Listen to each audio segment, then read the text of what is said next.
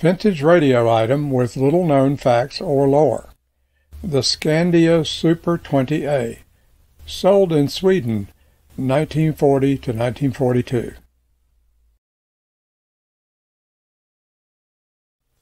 I need to start thinning my 50 plus year collection of old radios.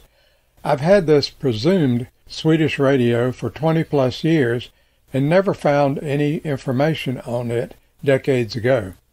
It certainly was not in good looking condition. Maybe I should try to sell it at the next big hamfest. Note that the black paper label proclaiming Scandia Super 20A with its almost illegible Swedish text appears to be pasted into a recess on the back panel.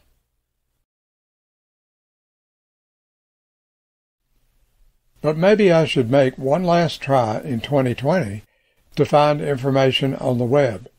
I find that Scandia operated retail department stores throughout Sweden selling a lot of imported white goods, refrigerators, stoves, small appliances, etc., at least even back into the early 1920s. They had even sold a domestically produced radio for a short time in the mid 1920s, but by the end of the 1920s were importing European brands. And by the end of the 1930s, imported radios were a significant segment of their business. There were Scandia outlets in at least eight cities, and in post-war years grew to some 40 outlets. The photo of four Scandia vehicles was taken in Stockholm and is dated 1939.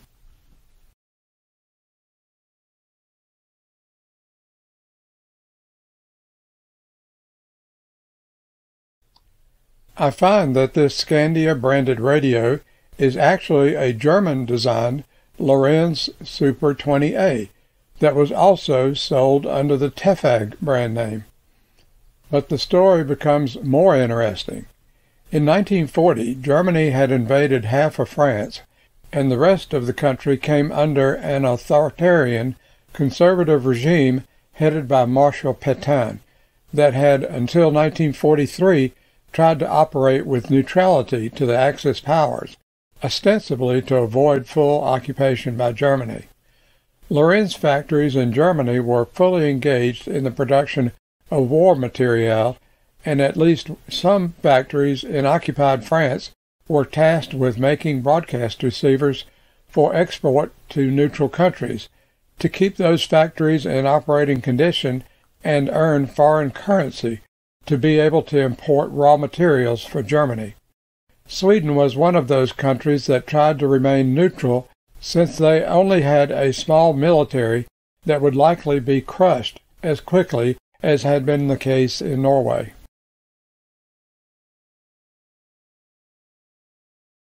The Lorenz Super 20A appears to be their first AC-DC all-mains receiver.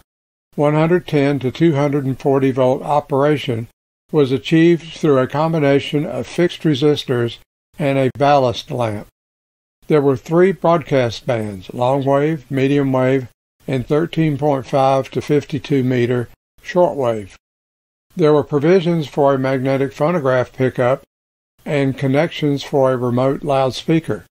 The antenna circuit features an adjustable wave trap for medium waves and an accessory loading coil can be inserted for better long wave reception.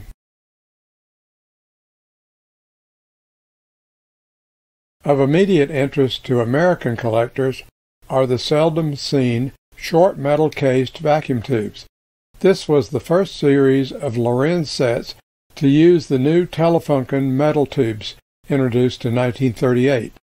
The red arrow points to the wave trap adjustment and jacks with a heavy jumper wire where an optional loading coil can be inserted. Here we see the construction of these interesting tubes. The horizontal mounting of tube elements were supposed to give the tube excellent high-frequency performance capabilities. However, this mounting scheme limited the size of the plate so that it could not be used for audio output tubes or rectifiers for moderate to high tube count receivers. On the far right, there is a notation that the welding of the top cap to the base assembly requires about 180,000 amps, but it's just for a second or two.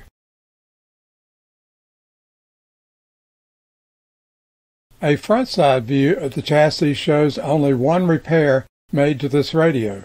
The silver-colored horizontal mount electrolytic capacitor is a British-made part that is simply tacked across the original brown cylindrical part. I removed it after these pictures were taken.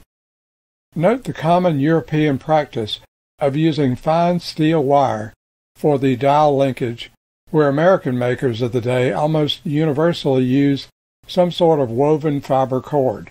The arrows point to the mains dropper resistor wound on a ceramic former and the ballast lamp to regulate the tube filament and dial light current.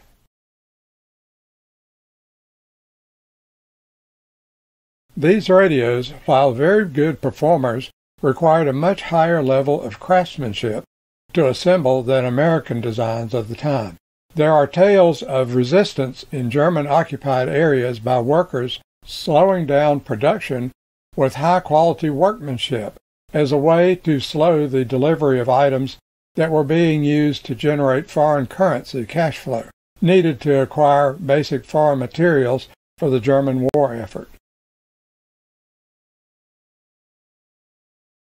As I began to assemble this PowerPoint, I asked friends in Sweden to try again to find more information, but they found very little to share.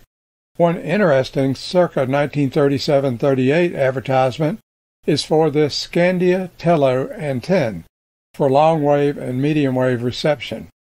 There are two testimonials and one independent engineering evaluation proclaiming its stellar performance especially its ability to minimize local interference without sacrificing distant signals.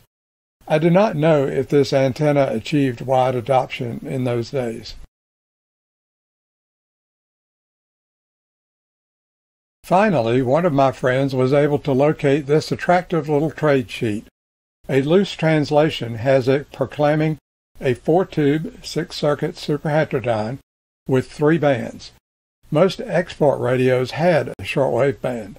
It goes on to say, although Scandia Super 20A belongs to the class of smaller receivers, it is a full-fledged remote area receiver with great sensitivity, good selectivity, and strong tone.